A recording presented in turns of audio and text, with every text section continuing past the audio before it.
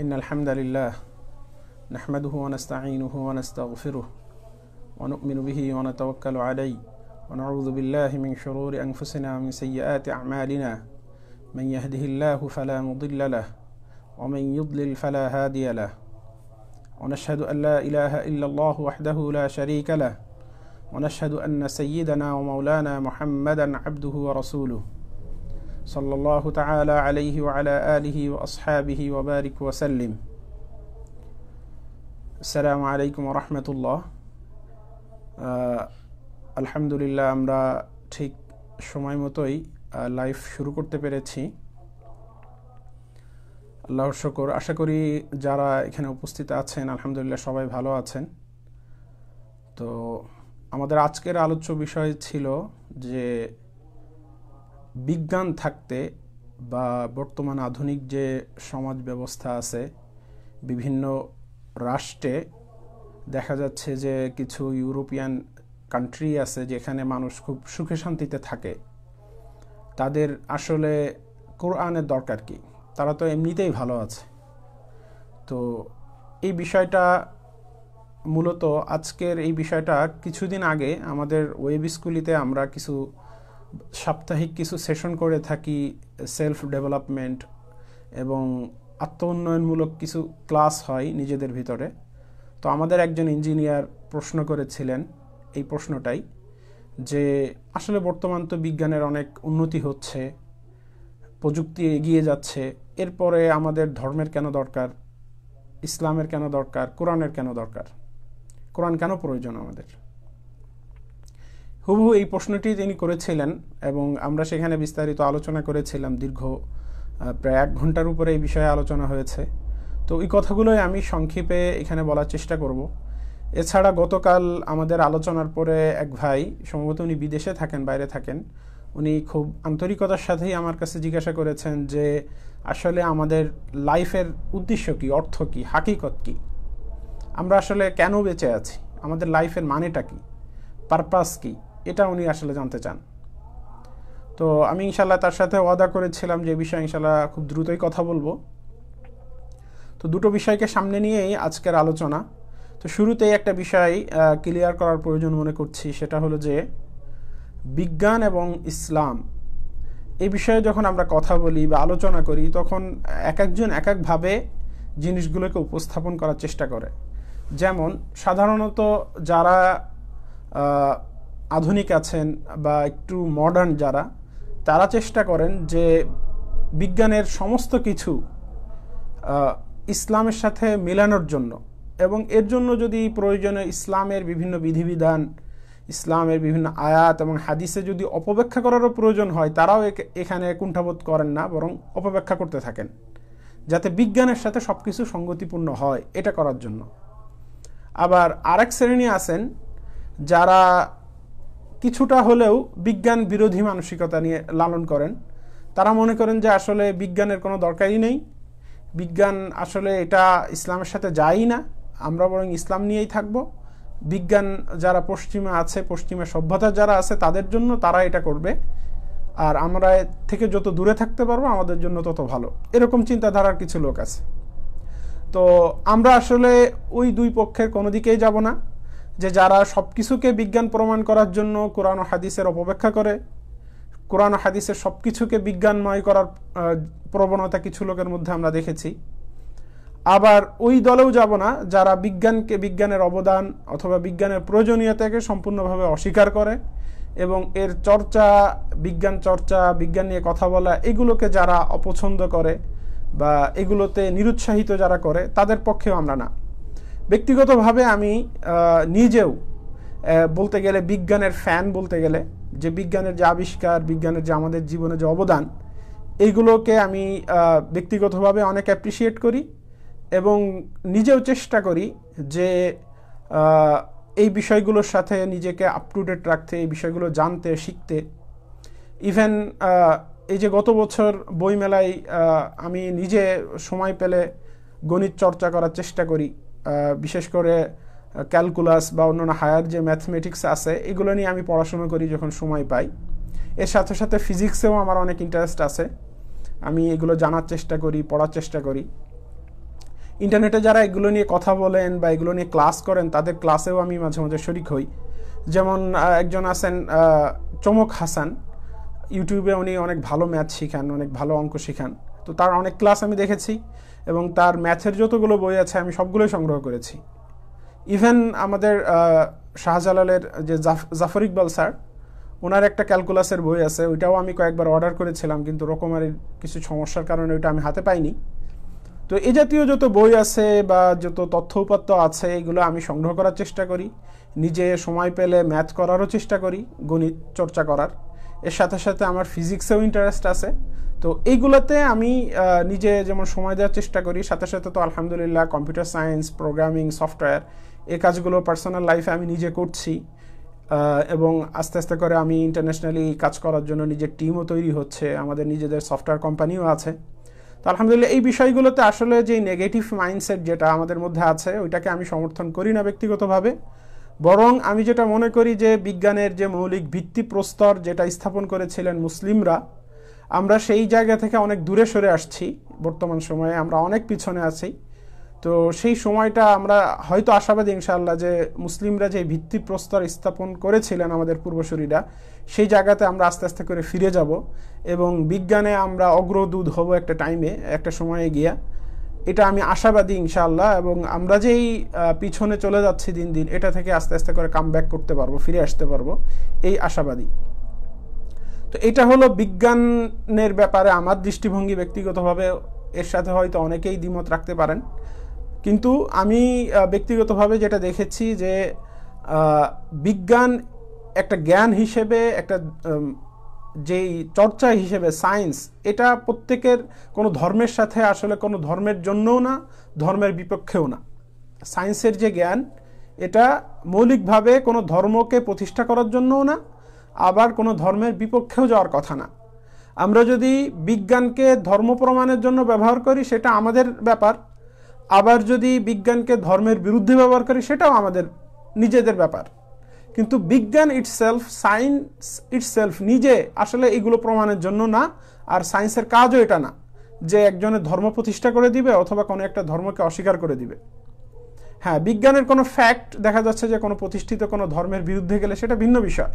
কিন্তু বিজ্ঞানের চর্চা মূলত আমাদের শুধু বিজ্ঞান না, আমি যে পয়েন্টটা আজকে কথা বলব যে শুধু বিজ্ঞান না, আমাদের বাস্তব জীবনে যত জ্ঞান আছে, সেটা ইতিহাস হোক, রাষ্ট্রবিজ্ঞান হোক, সমাজবিজ্ঞান হোক, অথবা নর্মাল যে সায়েন্স আছে ফিজিক্স কেমিস্ট্রি বায়োলজি এই বিষয়গুলো যত ধরনের সায়েন্স আছে এই বিষয়গুলো, সবগুলোর উদ্দেশ্য আসলে কি? আমাদের এটা বোঝা দরকার, আমাদের আলোচনার শুরুতে। যে আমরা যত জ্ঞান বিজ্ঞান আছে পৃথিবীতে, আল্লাহ সুবাহানুতালা মানুষকে যত ধরনের জ্ঞান দিয়েছেন পৃথিবীতে, এবং শুরু থেকে এ পর্যন্ত মানুষের কাছে যত ধরনের এল জ্ঞান আছে, এটার উদ্দেশ্য আসলে কি? তো বাস্তব জীবনে আমরা আমাদের কলেজ ইউনিভার্সিটিতে, ভার্সিটিতে, সেটা অক্সফোর্ড হোক ক্যামব্রিজ হোক, অথবা ঢাকা ইউনিভার্সিটি হোক, বুয়েট হোক আরও ভালো ভালো যত ইউনিভার্সিটি আছে বিশ্বের, সব জায়গায় যত কিছু আমরা চর্চা করি জ্ঞান বিজ্ঞানের, এর একটা মৌলিক উদ্দেশ্য আছে, সব জ্ঞান বিজ্ঞানেরই। সেই মৌলিক উদ্দেশ্যটা হলো যে আমাদের লাইফে মানুষের জীবনে অনেক ধরনের প্রবলেম আছে। সেই প্রবলেমগুলো সলভ করাই হলো মৌলিক উদ্দেশ্য। এই এই সমস্যাগুলো, যেমন ধরেন আমাদের যোগাযোগের সমস্যা আছে তো যারা যোগাযোগ নিয়ে কাজ করছে, তারা মোবাইল আবিষ্কার করছে বিজ্ঞানের মাধ্যমে, প্রযুক্তির মাধ্যমে। সেই মোবাইল আমাদের যোগাযোগ সমস্যার সমাধান করে দিয়েছে। আবার ইন্টারনেটও আমাদের যোগাযোগ সমস্যার সমাধান করে দিয়েছে। এরপরে ধরেন আমরা দৈনন্দিন জীবনে টাকা আদান প্রদান করা অনেক কঠিন ব্যাপার ছিল। তো বর্তমানে যে মোবাইল অ্যাপ্লিকেশনগুলো আসছে, টাকা আদান প্রদান করার জন্য, তো এই অ্যাপ্লিকেশনগুলো কিন্তু আস্তে আস্তে করে আমাদের এই টাকা আদান প্রদানকে সহজ করে দিচ্ছে। এরপরে ধরেন যে চিকিৎসার ক্ষেত্রে যে অবদানগুলো বিজ্ঞান রাখছে, সায়েন্স, সেই অবদানগুলো কিন্তু প্রত্যেকটা এক একটা সমস্যা সমাধানের জন্যই আসছে মূলত বিজ্ঞানের এই বিষয়গুলো। তো এই সমস্যার সমাধানের জন্যই মূলত ইতিহাস মানুষের সমস্যার সমাধানের জন্যই রাষ্ট্রবিজ্ঞান, সমাজবিজ্ঞান, মানুষের সমস্যার সমাধান করার জন্যই মূলত সায়েন্স। সেটা ফিজিক্স হোক, কেমিস্ট্রি হোক, বায়োলজি হোক, যে কোনো শাখার, যে কোনো সায়েন্সের মূল উদ্দেশ্য হলো যে আমাদের মানুষের কোনো একটা সমস্যার সমাধান করা। আমরা মানুষ নানান রকমের সমস্যায় আছি। সেই সমস্যাগুলো সহজ করার জন্যই মূলত বিজ্ঞানের চর্চা এবং বিজ্ঞানের যত অবদান সেগুলো মানুষের সেবার পিছনেই কাজ করছে। এটাই আসলে এক নম্বর উদ্দেশ্য যে, এছাড়া অন্যান্য উদ্দেশ্য যে কৌতূহল মেটানো, আমাদের জ্ঞান, বিজ্ঞানের পিপাসা মেটানো, আমরা অনেক কিছু জানতে চাই, এগুলোর জন্য এই চর্চাগুলো করছি, সেটা ভিন্ন বিষয়। কিন্তু at the end of the day লাস্টে গিয়ে আমরা কিন্তু কোনো না কোনো একটা সমস্যার সমাধান করছি বিজ্ঞানের মাধ্যমে। এটা হলো মূল উদ্দেশ্য বিজ্ঞানের। তো বিজ্ঞানের যদি এটা উদ্দেশ্য হয় যে আমাদের মানুষের জীবনের সমস্যাগুলোর সমাধান করা, তো সেক্ষেত্রে কোরআনের অবদানটা কি? আমরা যদি বিজ্ঞানী যদি শুধু থাকে, তাহলে কি বিজ্ঞান আমাদের মানুষের জীবনের সমস্ত সমস্যার সমাধান করতে সক্ষম? আমাদের কাছে রাষ্ট্রবিজ্ঞান আছে, আমাদের কাছে বিভিন্ন ধরনের নীতি নৈতিকতা আছে, আমাদের রাষ্ট্রনীতি আছে, যেগুলো দিয়ে আমরা আমাদের রাষ্ট্র চালাই, সমাজ চালাই। এই যে জ্ঞান বিজ্ঞান আছে, এগুলো কি মানুষের যত সমস্যা আছে, এই সমস্যাগুলো সমাধান করতে সক্ষম কিনা, এটা হলো আমাদের মৌলিক একটা প্রশ্ন। যে আচ্ছা আমি বুঝে নিলাম যে জ্ঞান বিজ্ঞান, রাষ্ট্রবিজ্ঞান, সমাজনীতি, যত জ্ঞান আছে, সবগুলো সব কিছুর মূল উদ্দেশ্য হলো মানুষের সমস্যার সমাধান করা। তো এই মানুষের সমস্যার সমাধান যে করতেছে, এটা আমাদের দৈনন্দিন জীবনে আমরা অনেক ধরনের অবদানের স্বীকার করে, হচ্ছি, আমরা অনেক ধরনের অবদান পাচ্ছি জ্ঞান বিজ্ঞান থেকে, কিন্তু সব সমস্যার সমাধান কি করতে পারছে কিনা, এটা হলো মূল বিষয়। আর বিজ্ঞান যদি সমস্ত সমস্যার সমাধান করতে পারে, তাহলে আমাদের কোরআনের দরকার নেই। আর যদি বিজ্ঞান সমস্ত সমস্যার সমাধান না করতে পারে, তাহলে আমাদের আরও জ্ঞানের দরকার আছে, সেটা কোরআন হোক, ইসলাম হোক বা অন্য যা কিছুই হোক। তো আমরা যদি একটু দেখি যে আমাদের অ্যাজ এ হিউম্যান আমরা মানুষ হিসেবে যদি চিন্তা করি, তাহলে কোরআন বিজ্ঞান বা অন্য যত ধরনের জ্ঞান আমাদের চারপাশে আছে, এই সমস্ত সমস্যার সমাধান করতে পারে না মানুষের জীবনের। এটা হলো মূল ব্যাপার যে আমার জীবনে যত সমস্যা আছে, সমস্ত সমস্যার সমাধান বিজ্ঞান দিতে পারবে না। ইভেন সমাজবিজ্ঞান দিতে পারবে না, রাষ্ট্রবিজ্ঞান দিতে পারবে না সব কিছুর সমাধান আসলে নাই। এজন্য আমাদের অন্য একটা কিছুর দরকার। তো আমরা দৈনন্দিন লাইফে বিজ্ঞান থেকে যে সমস্যাগুলোর সমাধান পাচ্ছি, সেগুলো হলো ছোট ছোট সমস্যার সমাধান পাচ্ছি। যেমন আমার গরম লাগছে, এটা একটা ছোট সমস্যা। এটার জন্য এসি আছে ফ্যান আছে। অথবা আমি কারোর সাথে যোগাযোগ করতে পারছি না, এটা একটা ছোট সমস্যা। এটার জন্য বিজ্ঞান কি করছে? মোবাইল আবিষ্কার করছে ইন্টারনেট আবিষ্কার করছে যোগাযোগের জন্য। তো এই যে সমস্যাগুলো দৈনন্দিন জীবনে আমরা দেখছি বিজ্ঞান সমাধান করছে অথবা অন্য কোনো জ্ঞান আমাদের দৈনন্দিন জীবনে সমাধানগুলো করছে, এই সমাধানগুলো কিন্তু বড় কোনো সমস্যার সমাধান না। ছোট ছোট সমস্যার সমাধান হচ্ছে। মানুষের জীবনে এর চেয়েও বড় বড় কিছু সমস্যা আছে, যেই সমস্যাগুলো নিয়ে আমরা হয়তো আলোচনা করি না, কিন্তু এই সমস্যাগুলো এই ছোট ছোট সমস্যা থেকে অনেক বড়। যেমন, এই যে কালকে যে ভাইয়াটা প্রশ্ন করেছেন যে তার জীবনের উদ্দেশ্যটা কি? তিনি জীবনের উদ্দেশ্যটা জানতে চান। তার জীবনের হাকিকতটা কি? এটা তিনি জানতে চান। এই যে গতকাল এক ভাই আমাকে ইনবক্সে জিজ্ঞাসা করেছিলেন, সেইটা নিয়ে আজকের আলোচনা। এটা যদি আমি বিজ্ঞানের কাছে জিজ্ঞাসা করি যে, আমার একজন মানুষের জীবনের উদ্দেশ্য কি বিজ্ঞান বলে দাও? বিজ্ঞান কিন্তু এই কথা জীবনও বলতে পারবে না। যে একজন মানুষের কি উদ্দেশ্য হওয়া উচিত? আমি যদি জিজ্ঞাসা করি, সমাজ বিজ্ঞানের কাছে, রাষ্ট্রনীতির কাছে বা অন্য যত ধরনের জ্ঞান আমাদের সমাজে আছে সব কিছুর কাছে যদি এই প্রশ্নটা করি যে আমার জীবনের উদ্দেশ্য কি হওয়া উচিত, সেটা তুমি বলে দাও। এটা কিন্তু পারফেক্ট অ্যান্সার কেউ দিতে পারবে না। সেটা যে ধরন, যত ধরনের বিজ্ঞানের যত উৎকর্ষতাই আসুক, যত উন্নতি হোক, কিন্তু এই প্রশ্নের উত্তর বিজ্ঞান দিতে পারবে না। আমার লাইফের পারপাস এটা কেউ বলতে পারবে না। আমাদের অন্ততপক্ষে যত জ্ঞান বিজ্ঞান আছে, এই কথাগুলোর অ্যান্সার এর মধ্যে নাই। কারণ হিউম্যান লাইফের যে উদ্দেশ্য কি হওয়া উচিত? মানুষ কেন পৃথিবীতে আসছে? কোথায় যাচ্ছে? এর গোল কি? শেষ কোথায়? এই জিনিসগুলো আসলে বিজ্ঞানের বলা সম্ভব না। আপনি যত চর্চা করেন না কেন, বিজ্ঞান যতই চর্চা করেন, আস্তে আস্তে আপনি মঙ্গল গ্রহে চলে গেলেন আরও উৎকর্ষতা হলো বিজ্ঞানের। কিন্তু আমার লাইফের যে প্রবলেমগুলো আছে, যেমন আমার লাইফে ভয় আছে, আমার লাইফে অনেক ইমোশন আছে আমার লাইফের উদ্দেশ্য কি? এটা আমি জানতে চাই।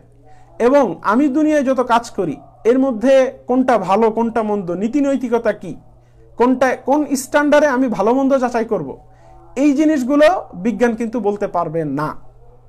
তো দেখা যাচ্ছে যে মানুষের প্রবলেম যদি ভাগ করি, তাহলে মানুষের প্রবলেম দুই ধরনের। এক ধরনের প্রবলেম হলো যেগুলো ছোট ছোট প্রবলেম যোগাযোগের সমস্যা। তারপরে গরমের সমস্যা। যাতায়াতের সমস্যা, যানবাহনের সমস্যা, এক জায়গা থেকে আরেক জায়গায় যাওয়ার জন্য দ্রুত বাহন দরকার। সেজন্য বিমান আসছে, রকেট আসছে আরও অনেক উন্নত ধরনের যানবাহন আস্তে আস্তে করে আসবে। তো এই যে এই বিষয়গুলো, এগুলো কিন্তু মানুষের জীবনের ছোট ছোট সমস্যার সমাধান করতেছে। কিন্তু এই ছোট ছোট সমস্যার চেয়েও আরও কিছু বড় সমস্যা আছে, যে সমস্যাগুলো কোনো জ্ঞান বিজ্ঞানী সমাধান করতে পারছে না। যেমন একজন মানুষের লাইফের উদ্দেশ্য কি হওয়া উচিত? পারপাস অফ লাইফ এটা কিন্তু বিজ্ঞান বলতে পারবে না। এরপরে আমাদের লাইফে আমরা যত কাজ করি, কোনটা সঠিক, কোনটা ভুল, কোনটা রাইট কোনটা রং এই কথাগুলো কিন্তু বিজ্ঞান বলে দিতে পারবে না। এরপরে আমরা কোথায় যাচ্ছি, আমাদের এন্ডিং গোলটা কোথায়? আমি যে যত কাজ করছি, এটা কি এমনিই শেষ হয়ে যাবে, এমনিই সব কিছু ধ্বংস হয়ে যাবে, নাকি আসল আমার অরিজিনটা কোথায়, আমি কোথেকে আসলাম? এই জিনিসগুলো কিন্তু বিজ্ঞান বলতে পারবে না। তো দেখা যাচ্ছে যে আমার লাইফে এমন কিছু কিছু বড় প্রবলেম আছে, যেই প্রবলেমগুলো আমি বর্তমান যে আমার কাছে জ্ঞান বিজ্ঞান আছে, সেই জ্ঞান বিজ্ঞান দিয়ে আমি সমাধান করতে পারছি না। এজন্য আমার অতিরিক্ত কিছু জ্ঞানের দরকার। সেই অতিরিক্ত জ্ঞানগুলো আসতেছে মূলত কোরআন থেকে। আসমানি যে জ্ঞান আছে, আল্লাহ সুবাহানহু তাআলা যে জ্ঞানটা পাঠিয়েছেন মানুষের জন্য, সেই জ্ঞান থেকে এর সমাধান আমরা পাবো। আল্লাহ তাআলা পবিত্র কোরআনের দিকে যদি আমরা তাকাই, তাহলে দেখব যে পবিত্র কোরআনের ষোলো থেকে মাত্র পাঁচশো আয়াত বা কম বেশি ওরামা ইকরাম লিখেছেন, এটা হলো বিধান সংক্রান্ত। এখানে বিধান বর্ণনা করা হয়েছে বিভিন্ন ধরনের। এছাড়া আর যত আয়াত আছে, এর সব আয়াতই মানুষের জন্য, হৃদায়তের জন্য, মানুষের বিভিন্ন ধরনের সমস্যা সমাধানের জন্য। মানুষকে গাইড করার জন্য যে তার কোনটা ভালো, কোনটা মন্দ, তার জীবনের উদ্দেশ্য কি, কেন মানুষ মানুষ কোথা থেকে আসলো কোথায় যাচ্ছে, মানুষের লাইফ কীভাবে চলা উচিত, পুরা গাইডলাইন কিন্তু বিজ্ঞানে আমি পাবো না। একজন মানুষ জন্ম থেকে মৃত্যু পর্যন্ত কীভাবে তার লাইফটা চলা উচিত, কীভাবে তার জীবনটা বাঁচা উচিত তার, কোনটা সঠিক, কোনটা ভুল, কোনটা রাইট কোনটা রং এই কথাগুলো কিন্তু আমি বর্তমানের কোনো জ্ঞান বিজ্ঞানে আমি খুঁজে পাবো না। তো এই জিনিসগুলো সঠিকভাবে পারফেক্ট অ্যান্সার দেওয়ার জন্য আসলে মূলত কোরআন আসছে। আল্লাহ সুবাহানুহ তালা আমাদেরকে সৃষ্টি করেছেন আল্লাহ তালা জানেন। আমাদের মধ্যে ওই পটেনশিয়াল বা ওই ধরনের যোগ্যতা আল্লাহ তালা দিয়েছেন, যেই যোগ্যতা দিয়ে আমরা ছোট ছোট সমস্যাগুলো সমাধান করতে পারি, যে আমাদের যোগাযোগের সমস্যা আমরা নিজেরা গবেষণা করে সমাধান করছি। আমরা যদি ইতিহাসের দিকে তাকাই, প্রত্যেক যুগেই কিন্তু মানুষ ছোট ছোট বিভিন্ন ধরনের ইনভেনশন করেছে, বিভিন্ন ধরনের আবিষ্কার করেছে। সেটা সেই প্রস্তর যুগ থেকে শুরু করে বর্তমান সময়ে এক সময় ছিল মানুষ আগুন জ্বালানোর জন্য পাথর ঘষা দিয়ে দিয়ে আগুন জ্বালাতো। এটাও এক সময় মানুষ শিখেছে। আবার এখন আমরা আগুন জ্বালানোর জন্য গ্যাস লাইট ব্যবহার করি বা আরও উন্নত ধরনের প্রযুক্তি আসছে আগুন জ্বালানোর জন্য। তো প্রত্যেক যুগেই কিন্তু মানুষ আবিষ্কারের পথে আছে। তো এই যে মানুষের আবিষ্কারের যোগ্যতা, এটা আল্লাহ সুবাহানুতালা দিয়ে দিয়েছেন। তো আল্লাহ সুবাহানুতালা এটা জানেন যে মানুষের এই যোগ্যতা আছে, এটা যুগের পরে যুগ, তারা এটা আবিষ্কার করে নিতে পারবে প্রত্যেক যুগের চাহিদা অনুযায়ী। কিন্তু কোরআনের দরকার হয়েছে এজন্য যে মানুষ তার যে জ্ঞান বিজ্ঞান আছে, যে মেধা আছে, সেই মেধা দিয়ে পরিপূর্ণভাবে নিজেকে চালাইতে পারবে না। নিজের জীবনকে পরিচালনা করতে পারবে না মানুষ। নিজের জ্ঞান বিজ্ঞান দিয়ে, তার সেই মেধা দিয়ে, অথবা তার ইতিহাস, অন্যান্য যত ধরনের জ্ঞান আছে তার, এই জ্ঞান বিজ্ঞান দিয়ে একজন মানুষ তার নিজের লাইফের উদ্দেশ্যে খুঁজে পাবে না। একজন মানুষ কোনটা সঠিক, কোনটা ভুল, সেটা বের করতে পারবে না। একজন মানুষের জীবনটা কীভাবে চলা উচিত, সেটাও সে বলতে পারবে না। ইভেন সে কোথায় যাচ্ছে? এই লাইফ শেষ হওয়ার পরে তার কোন জীবনের দিকে যাচ্ছে সে? সেটাও সে বের করতে পারবে না। এই নলেজটা আসলে পৃথিবীতে নাই। এজন্যই আসলে আসমানি নলেজের দরকার হয়েছে, আসমানি জ্ঞানের দরকার হয়েছে। আর আল্লাহ সুবাহানুমতালা কোরআনের মাধ্যমে, নবী রসুল পাঠানোর মাধ্যমে ওহির মাধ্যমে এই দিক নির্দেশনাটা পাঠিয়ে দিয়েছেন প্রত্যেক যুগে। কারণ আল্লাহ তালা জানেন যে মানুষের কাছে এই নলেজটা নাই। আর যদি যারা এটা বিশ্বাস করে না বা যাদের কাছে এই নলেজটা নাই, তাদের লাইফের দিকে তাকান। আজকে ধরেন বহুত লোক আছে যারা কোরআনে বিশ্বাস করে না, আসমানি জ্ঞানে বিশ্বাস করে না, আল্লাহ সুবাহানহতালাকে বিশ্বাস করে না, ওহিকে বিশ্বাস করে না। ভালো কথা। তো তাদের কাছে যদি জিজ্ঞাসা করেন যে একজন মানুষের জীবনের উদ্দেশ্য কি পারপাস অফ লাইফ কি, তার কিছুই বলতে পারবে না। তারা যে অ্যান্সারগুলো দিবে, সেগুলো তাদের বানানো অ্যান্সার এবং এটা সঠিক হওয়ার কোনো সম্ভাবনাই ম্যাক্সিমাম থাকে না। তারা বলে যে, আমরা এমনিই জন্ম নিয়েছি, এমনিই মারা যাব। যেটা আল্লাহ সুবাহানুতালা বহুত আগে পবিত্র কোরআনে বলে দিয়েছেন। যে সময়, যুগ, এগুলো আমাদেরকে বানায়, এগুলো আমরা, এগুলোর মাধ্যমে আমরা শেষ হয়ে যাই। তো এভাবে তারা নানান ধরনের অ্যান্সার দিবে, কিন্তু একজন মানুষের প্রকৃত জীবনের উদ্দেশ্যটা কি পারপাসটা কি, সেটা বলতে পারবে না কোনো মানুষ। যদি তার কাছে ওহির জ্ঞানটা না আসে। একইভাবে আমাদের লাইফে কোন কাজটা সঠিক, কোনটা ভুল, এটা কিন্তু আমরা যুক্তি দিয়ে, আমাদের জ্ঞান বিজ্ঞান দিয়ে বা যত ধরনের মতবাদ আছে, থিওরি দিয়ে এটা বলতে পারব না যে কোনটা সঠিক, কোনটা ভুল। ইভেন আজকে যারা আমাদের এথেইস্ট আছে, যারা যারা নাস্তিক, তাদের কাছে জিজ্ঞাসা করেন, তাদের কাছে এমন অনেক কাজ ভ্যালিড যেগুলো আমাদের সোশ্যালি আমরা আমাদের কাছে ভ্যালিড না। যেমন ধরেন সমলিঙ্গের বিবাহ, অথবা নিজের পরিবারের ভিতরে বিভিন্ন ধরনের সেক্সুয়াল বিহেভিয়ার লাইক যেমন ইনসেস্ট এটাকে তারা বৈধ বলে। নানান ধরনের সামাজিক যেগুলোকে আমরা বৈধ মনে করি না বা আমরা যেগুলোকে অন্যায় মনে করি, তাদের কাছে এটা ন্যায়। কারণ হলো যে তাদের কাছে আসলে ন্যায়, অন্যায় বলার কোনো মানদণ্ড নেই। কোন কোন কাজটা যে ন্যায় আর কোন কাজটা যে অন্যায়, এটা কিন্তু তাদের কাছে প্রতিদিন চেঞ্জ হচ্ছে। তো তাদের কাছে আসলে নির্দিষ্ট কোনো মানদণ্ড নেই, যেই মানদণ্ড দিয়ে কোনো নাস্তিক কথা বলতে পারবে যে দুনিয়ার এই কাজটা রং এই কাজটা রাইট তারা নানান আন্দোলন করবে, এটা নিয়ে, ওটা নিয়ে আন্দোলন করবে বাট এরকম কোনো স্ট্যান্ডার্ড কেউ দিতে পারবে না যে এই কাজটা সঠিক, এই কাজটা ভুল। কারণ যুক্তির বিচারে দুনিয়ার সব কাজকেই ভুল প্রমাণ করা সম্ভব, যুক্তির বিচারে দুনিয়ার সব কাজকেই খারাপ প্রমাণ করা সম্ভব, আবার ভালো প্রমাণ করাও সম্ভব। যেমন হিটলার হিটলার যারা নাৎসি ছিল যারা, তাদেরও তো একটা যুক্তি ছিল। এবং সে শুধুমাত্র নিজেই মতবাদে বিশ্বাসী ছিল এরকম না, পুরো একটা জাতি, একটা দেশকে নিয়ে এই মতবাদে সে বিশ্বাসী করিয়েছে সে। যে সার্ভাইভাল অফ দ্য ফিটেস্ট যে প্রকৃতির মধ্যে যার ক্ষমতা বেশি, যোগ্যতা বেশি, শক্তি বেশি, সেই বেঁচে থাকবে। আর অন্য, অন্যদের বাঁচার অধিকার নেই। যে এ ধরনের এক একটা মতবাদ বিভিন্ন যুগে দেখা যাচ্ছে যে এটা জনপ্রিয়তা পেয়েছে। আগে আমরা দেখেছি দাস প্রথা, যে মানুষকে দাস বানিয়ে ব্যবহার করা। এটা একটা সময় পর্যন্ত। পুরা মানব সমাজের সবার কাছে ভ্যালিড ছিল একটা জিনিস। এখন আমরা এটাকে ইনভ্যালিড মনে করতেছি, এটাকে খুব খারাপ ভাবতেছি, এটাকে খুব খারাপ হিসেবে জানতেছি। বাট একটা টাইম পর্যন্ত হিউম্যান হিস্টোরিতে আপনি দেখেন যে একটা টাইম পর্যন্ত কিন্তু পুরো মানব জাতির সবাই এটাকে গ্রহণ করে নিয়েছিল। তো আপনি এটাকে কীভাবে বলবেন যে দাসপ্রথা আজকে খারাপ? তাদের যারা দাসপ্রথা চালু করেছিল বা যেই সমাজে এটা ছিল, তাদের কাছে এটা খারাপ হলে তারা কেন চালু করল? তো এই জন্য আপনি এমন কোনো মানদণ্ড দিতে পারবেন না যে এই কাজটা এই জন্য খারাপ। আর এটা সারা জীবন খারাপই থাকবে আপনার মানদণ্ড অনুযায়ী।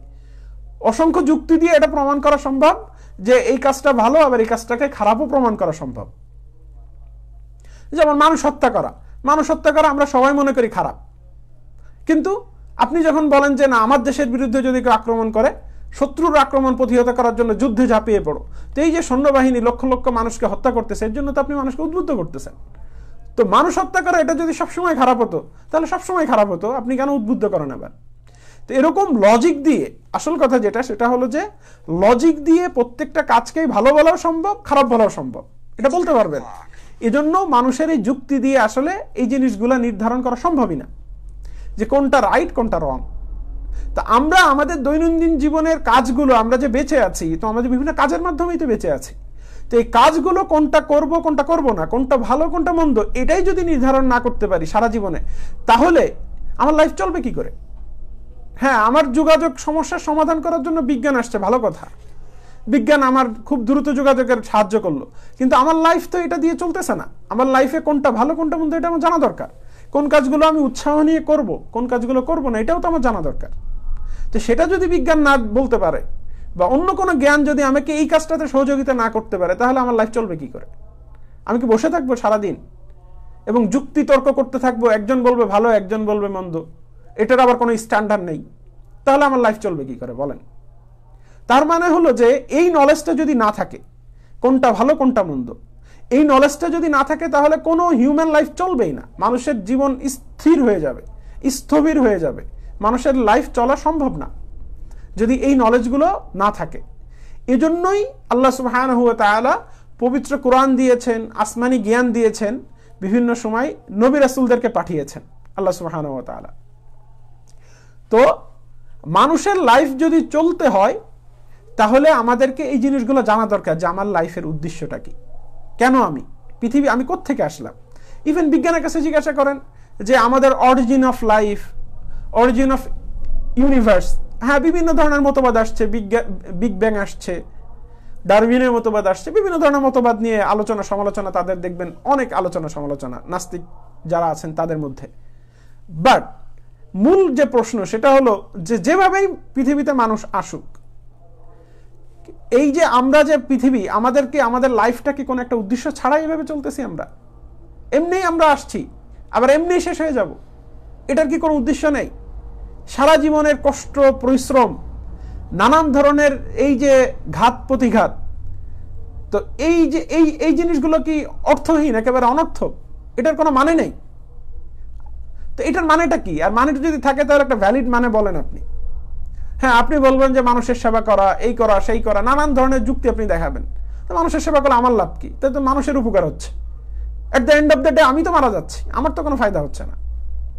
তো এই সমস্ত দিকে যদি আপনি চিন্তা করেন, তাহলে আমাদের যত জ্ঞান বিজ্ঞান আছে, যত সায়েন্স আছে, যত ধরনের নলেজ আছে, এটা সমাধান দিতে কেউ পারবে না। যে আমার লাইফ কেন আমি লিড করব এবং আমার লাইফের পারপাসটা কি হওয়া উচিত?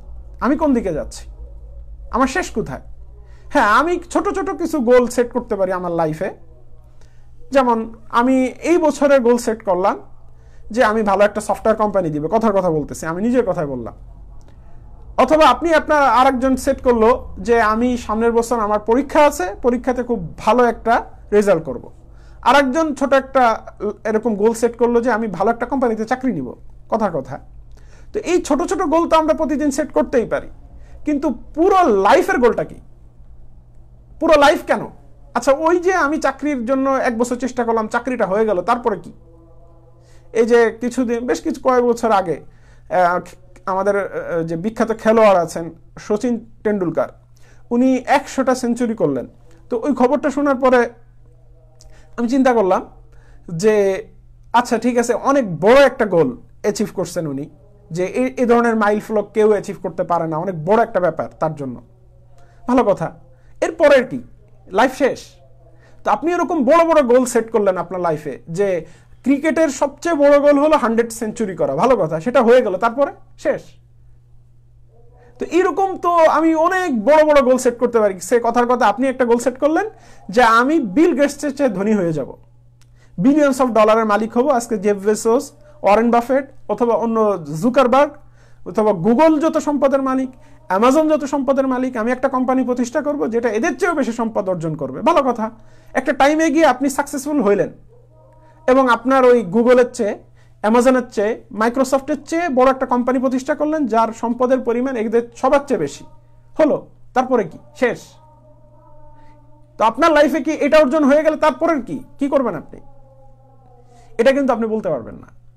যদি আপনি বর্তমান যে আমাদের জ্ঞান বিজ্ঞান আছে, সেই জ্ঞান বিজ্ঞান দিয়ে আপনার লাইফকে চালাইতে চান, সেটার উপরে নির্ভরশীল হয়ে থাকেন, তাহলে ছোট ছোট গোলে আপনাকে সহযোগিতা করবে এই জ্ঞান বিজ্ঞান।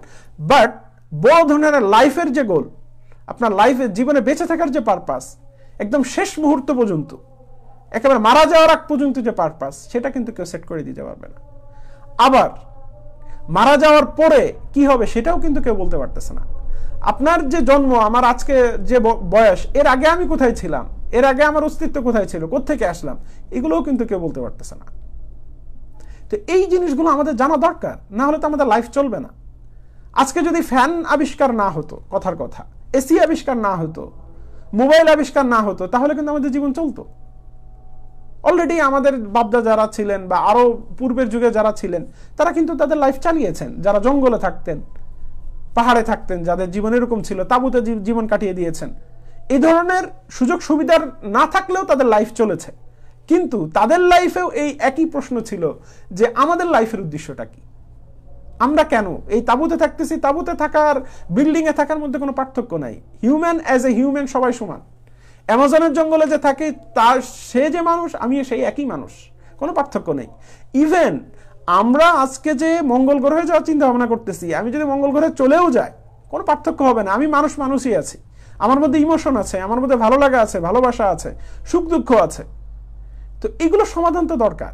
এবং এগুলোর যে সঠিক সমাধান আমার লাইফের পারপাস আমার ভালো লাগা, ভালো থাকা, এগুলোর পারপাস কিন্তু বর্তমান যে জ্ঞান, বিজ্ঞান আছে, এটা কেউ সমাধান দিতে পারবে না।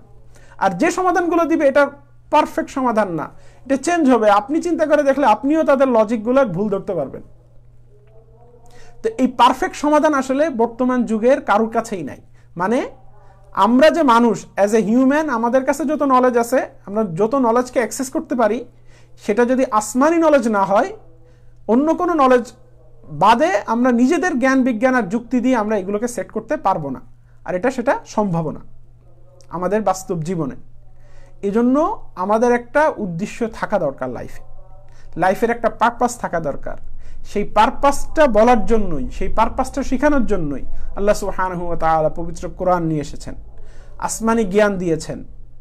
আল্লাহ সুবাহানহু তালা যুগে যুগে নবী রাসুল পাঠিয়েছেন। কেন? যেন আমাদের লাইফের পারপাসটা আমরা জানি। সে অনুযায়ী আমাদের জীবনটাকে আমরা গঠন করতে পারি। ইভেন আমরা দুনিয়ার জীবনে নানা ধরনের ঘাত প্রতিঘাতের শিকার হই। আমাকে একজন জুলুম করছে নানানভাবে। আমি, আমার এত ক্ষমতা নেই যে সেই জুলুমের প্রতিকার করব। তো আমার লাইফ যদি এভাবে জুলুমের শিকার হয়ে শেষ হয়ে যায়, আর তার প্রতিকার যদি আমি না পাই, তাহলে আমার কি সারা জীবনটাকে ইনজাস্টিসের ভিতরে কাটবে? অবিচারের ভিতরে আমার লাইফ কাটবে। প্রত্যেকটা মানুষই চায় এবং প্রত্যেকটা মানুষের দাবি এটা যে আমার প্রতি যারা ইনজাস্টিস করেছে, যারা আমার প্রতি জুলুম করেছে, অবিচার করেছে, তাদের বিচারটা যেন হয়। এটা আমরা প্রত্যেকেই চাই, মনে মনে চাই। তো এটা যদি আমার লাইফ যদি কোনো উদ্দেশ্য না থাকে, পরের জিনিসটা যদি আমি না জানি, তাহলে যারা নাস্তিক আছে বা যারা ধর্মে বিশ্বাস করেন না, তারা আমাদের এই সমস্যাগুলো সমাধান দিতে পারবেন না। হান্ড্রেড পার্সেন্ট শিওর এজন্য আল্লাহ সুবাহানহ তালা ইসলামের মাধ্যমে, নবী রাসুলের মাধ্যমে, কোরআনের মাধ্যমে এই সমস্যাগুলোর সমাধান দিয়েছেন। আমাদের লাইফের ছোট ছোট সমস্যা আমরা নিজেরাই সমাধান করে নিতে পারব আল্লাহ তালা ওই জ্ঞানটা আমাদের শুরু থেকে দিয়ে দিয়েছেন। ওই আমরা যদি মানুষকে একটা সফটওয়্যারের সাথে তুলনা করি, তো সফটওয়্যার ওটা দেওয়া আছে। আল্লাহ সুহান তালা পবিত্র কোরআনে বলে দিয়েছেন যে ও আল্লামনা আদম আল আসমা আকুল্লাহা ও আল্লামা আদম আল আসমা আকুল্লাহা আল্লাহ সুহান তালা জাগতিক যে জ্ঞান এটা আদম আলাহিসাল্লামকে শুরুতেই একদম সৃষ্টির শুরুতেই দিয়ে দিয়েছেন। এই জাগতিক জ্ঞান প্রত্যেক যুগের মানুষই এটা ব্যবহার করে, তাদের যুগের প্রয়োজনটা পূরণ করেছে। এটা আমরা যে আজকে বিজ্ঞানের এত উৎকর্ষতা এসেছি, এগুলো কিন্তু আমাদের বাপদা যারা ছিলেন, তাদের কাজের আস্তে আস্তে করে ফল। ইভেন আমরা যে কাজগুলো করে যাচ্ছি, পরবর্তীরা সেটার ফল ভোগ করবে আস্তে আস্তে করে। তো আমরা তো কোনো ছাগলকে বা কোনো গরুকে বা কোনো মহিষকে বা অন্য কোনো প্রাণীকে তো দেখছি না যে এ ধরনের আবিষ্কার করছে বা এ ধরনের অবদান রাখতেছে। তো এগুলো আমরা কেন পারতেছি? আল্লাহ সুবাহান তারা শুরুতেই আমাদের ভিতরে ওই যোগ্যতাটা দিয়ে দিয়েছেন। যে তারা তাদের নিজেদের জীবনের সমস্যাগুলো, যেগুলো প্রযুক্তি দিয়ে, জ্ঞান বিজ্ঞান দিয়ে সম্ভব, আবিষ্কার দিয়ে যে সমস্যাগুলো সমাধান করা দরকার, সেগুলো তারা করতে পারবে। এই জন্য আল্লাহ সুবাহান তালা শুরুতে সেই জ্ঞানটা দিয়ে দিয়েছেন। সেটা নিয়ে বিস্তারিত পবিত্র কোরআনের পাতায় পাতায় বিজ্ঞান শেখানোর দরকার হয় নাই। অনেকে এই প্রশ্ন করে থাকেন যে কোরআন কেন বিজ্ঞান শিখায় না? কোরআন কেন, কোরআনে কেন বড় বড় থিওরি নাই? কোরআনে কেন আইনস্টাইনের ওই থিওরিটা নাই? কোরআনে কেন আপেক্ষিক তথ্য নাই? কোরআনে কেন নিউটনের তত্ত্ব নাই? এ ধরনের নানান প্রশ্ন অনেকে করে থাকে। তো তাদেরও উত্তর হয়ে যাচ্ছে এখানে যে আসলে এই জিনিসগুলো তো মানুষ আবিষ্কার করতে পারবে। সেই যোগ্যতা আল্লাহ সুবাহ শুরুতেই দিয়ে দিয়েছেন। মানুষের ভিতরে, প্রত্যেকের ভিতরে ওই ধরনের যোগ্যতা আছে, প্রত্যেক মানুষের ভিতরে। সে যদি একটা নির্দিষ্ট প্রসেসে আগায়, তাহলে সে এইগুলো আবিষ্কার করে নিতে পারবে। তো কোরআন আসছে যে এই ছোটো ছোটো প্রবলেম আল্লাহ তালা সুবাহানতালা জানেন যে মানুষ নিজেদের সমস্যা নিজেরা সমাধান করে নিতে পারবে। তো বড় সমস্যা যেগুলো যে মানুষের লাইফের উদ্দেশ্য কি? কোনটা রাইট কোনটা রং কোনটা সঠিক, কোনটা ভুল? এই সমস্যার সমাধান মানুষ নিজেদের জ্ঞান বিজ্ঞান দিয়ে, নিজেদের যুক্তি দিয়ে, নিজেদের মেধা দিয়ে এটা করতে পারবেন আল্লাহ সুমান এটা জানেন। এই জন্যই প্রত্যেক যুগে যুগে নবী রসুল পাঠিয়েছেন, হৃদায়ত দিয়ে পাঠিয়েছেন, মানুষকে বলে দিয়েছেন যে, দেখো, এটা সঠিক এই পথে গেলে তোমার এটা হবে, এটা অন্যায় এই পথে তুমি যাবা না। এই কথাগুলো আল্লাহ সুবাহানতারা প্রত্যেক যুগে নবী রাসুল পাঠিয়ে, আসমানি কিতাব পাঠিয়ে এটা জানিয়ে দিয়েছেন।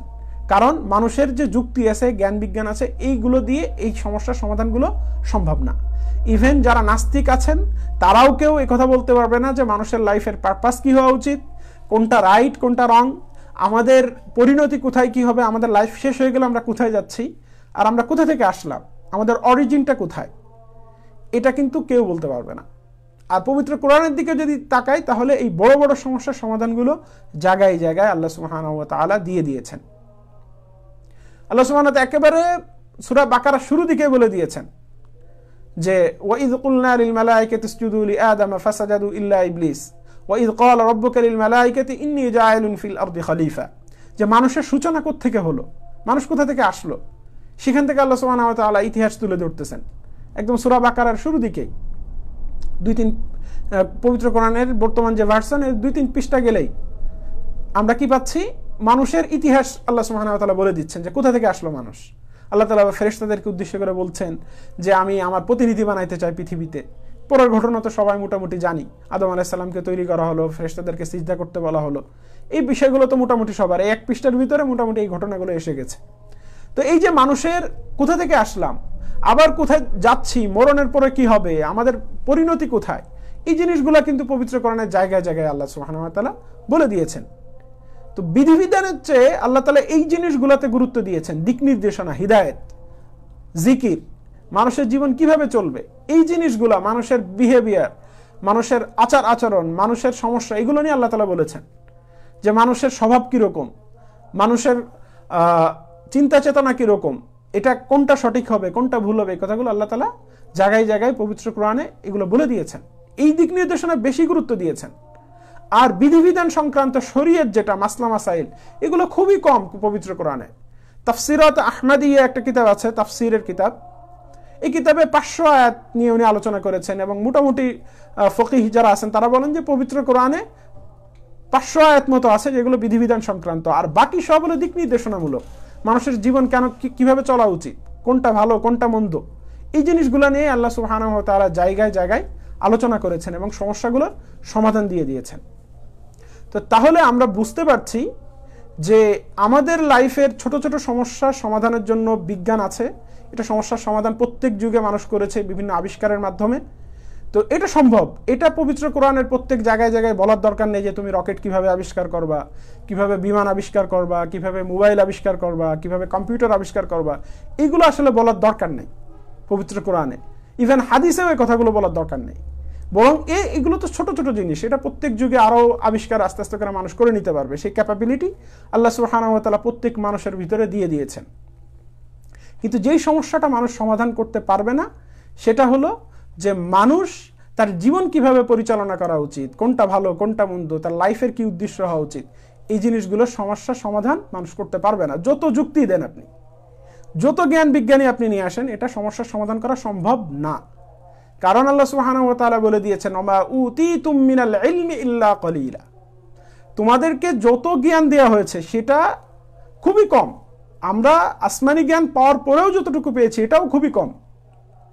আর আমাদের যুক্তির মাধ্যমে বা আমরা অবজারভেশনের মাধ্যমে, দেখাদেখির মাধ্যমে যে জ্ঞানটা অর্জন করি, সেটা তো খুবই সামান্য একটা জিনিস, খুব গুরুত্বপূর্ণ কোনো বিষয়ই না।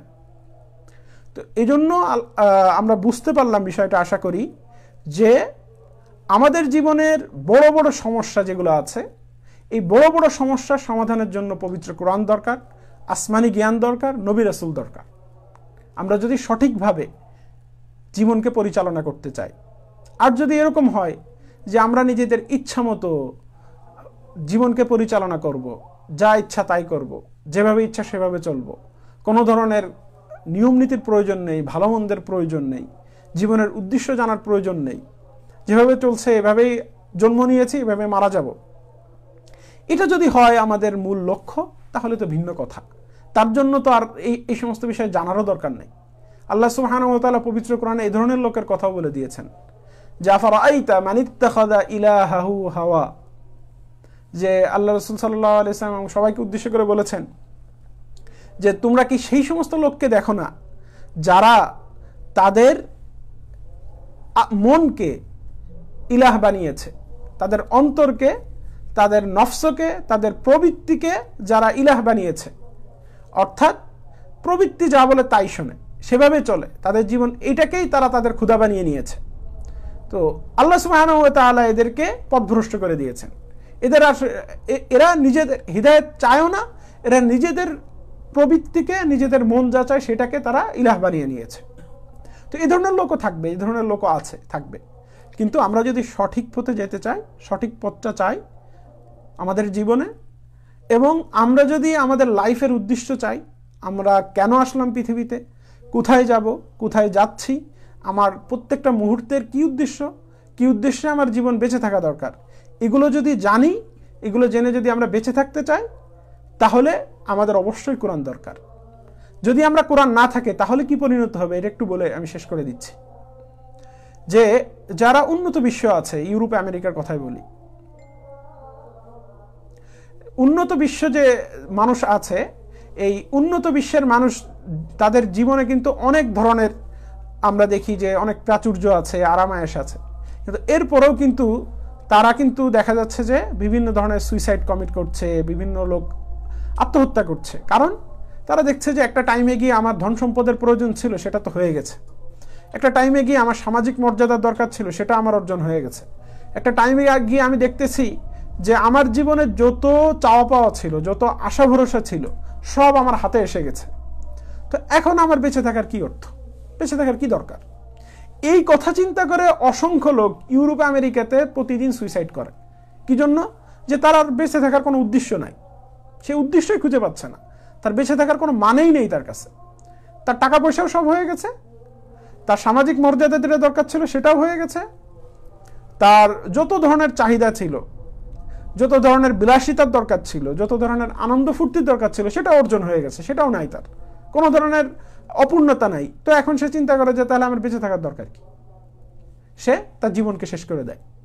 আবার অনেকে দেখা যাচ্ছে যে, আমাদের এই যে দুই দিন আগে একটা নিউজ ভাইরাল হয়েছে ফেসবুকে এটা আপনারাও দেখেছেন।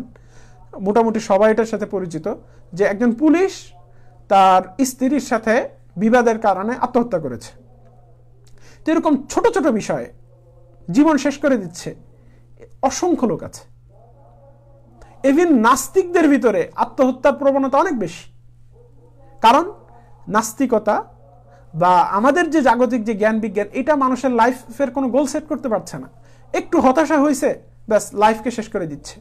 পরীক্ষায় ভালো রেজাল্ট করতে পারে নাই, জীবন শেষ। ভালো একটা কাপড় কিনে দিতে বলছে বাবা মা, জিদ করে দেয় নাই, জিদ করে আত্মহত্যা করে বসতেছে। স্ত্রীর সাথে বাদানুবাদ হয়েছে, স্ত্রী গলায় ফাঁস দিয়ে মারা যাচ্ছে, স্বামী গলায় ফাঁস দিয়ে মারা যাচ্ছে, বিষ খাচ্ছে, পিস্তল দিয়ে নিজেকে হত্যা করে দিচ্ছে। তো এই যে ঘটনাগুলো প্রতিদিন ঘটছে, কেন? কারণ হলো যে আমরা আমাদের লাইফকে যে মূল্য দেওয়া দরকার ছিল, জীবনের যে উদ্দেশ্যটা ছিল, সেটা জানি নাই কখনো। এক নম্বর বিষয়। দুই নম্বর বিষয় হলো যে উদ্দেশ্য যদি আমরা ভালো করে জানতামও, সেই উদ্দেশ্যটা প্রকৃত যে উদ্দেশ্য, সেটা আমরা জানি নাই। আর এই উদ্দেশ্য জেনে আমার জীবনটাকে যে মূল্যবান করা দরকার ছিল। আমার জীবনের প্রত্যেকটা মুহূর্তই মূল্যবান, কারণ আমার এই লাইফ খুবই শর্ট একটা লাইফ আমরা বড় ধরনের একটা কোনো অ্যাচিভমেন্টের দিকে যাচ্ছি। সেটা আমরা জান্নাতের দিকে যাচ্ছি। আমাদের সবচেয়ে লাইফের বড় উদ্দেশ্য হলো যে আমরা একটা টাইমে গিয়ে জান্নাতে যাব। এটা দুনিয়ায় সামান্য একটু কষ্ট হবে। দুনিয়ার লাইফটাতে কিছু হ্যাসেল থাকবে, ব্যথা বেদনা থাকবে, ঘাত প্রতিঘাত থাকবে, কষ্ট থাকবে। এটাই স্বাভাবিক। দুনিয়ার নিয়মই এটা। এটা থাকাটাই হলো দুনিয়া। তো এটাকে আমরা যদি জানতাম যে আমাদের লাইফের মাকসাদটা কি, অর্থাৎ আমরা জান্নাতে যাওয়ার জন্য এই কষ্টটা করছি। দুনিয়াটার, আমাদের লাইফের মাকসাদ এটা যে এই সাময়িক একটু কষ্ট করে নিব, এরপর আমাদের বড় গোল হলো এমন একটা জায়গায় যাব যেখানে এ ধরনের কোনো কষ্টের কোনো চান্সই নাই। কষ্টের কোনো ব্যাপারই নাই যেখানে। তো এটার জন্য আমি এই সামান্য কষ্টটুকু মেনে নিতে পারতাম যদি এই পারপাসটা আমার জানা থাকতো। কিন্তু এই পারপাসটা আমি জানি না বিধায় ছোট ছোট কারণে। একটা কাটা বিধার কারণে আমি আত্মহত্যা করছি। মানে এটুকুলো তো একটা কাটার মতোই, আমাদের লাইফে এই যে ঘটনাগুলো। বইয়ের সাথে বনামনি হয় না, অথবা কারোর সাথে সমাজের কেউ বড় একটা কথা বলেছে, অথবা দেখা যাচ্ছে যে ভালো রেজাল্ট করতে পারছি না, সামাজিক স্ট্যাটাস নষ্ট হয়ে নষ্ট হয়েছে এগুলোর কারণে আমরা লাইফ শেষ করে দিচ্ছি। এর মানে কি? এর মানে হলো যে আমার লাইফে ছোট একটা কাটা বিঁধলো, আমি লাইফটা শেষ করে দিলাম। এটা কিছু হইল। তো এগুলো হচ্ছে এই জন্য যে আমরা লাইফের উদ্দেশ্যটা জানি না, কোন দিকে আমার লাইফটা যাচ্ছে সেটা জানি না। আর আমি জানি না, এটাও জানার চেষ্টা করি না যে আমি যদি এই সামান্য কষ্টটুকু করতে পারি, তাহলে অনেক বড় ধরনের একটা অ্যাচিভমেন্ট আমার সামনে অপেক্ষা করতেছে। আমরা যারা এই যে পড়াশুনো করি, আমরা সবাই জানি যে এই কষ্ট করে একটু পড়াশুনো করি, ভালো একটা রেজাল্ট করি, তারপরেই চাকরি বাকরিতে ঢুকে যাচ্ছি। তো এই যে ভালো একটা রেজাল্টের জন্য আমি রাত জেগে কিন্তু পড়াশুনো করতে রাজি আছি। তো আমাদের লাইফটাও কিন্তু অনেক বড় একটা রেজাল্টের জন্য প্রত্যেকেই অপেক্ষা করতেছি আমরা। সেটা হলো জান্নাতে যাওয়া। সেই রেজাল্টটার জন্য যদি একটু কষ্ট করা লাগে, সেটার জন্য আমি প্রস্তুত হতাম, যদি আমি এটা জানতে পারতাম।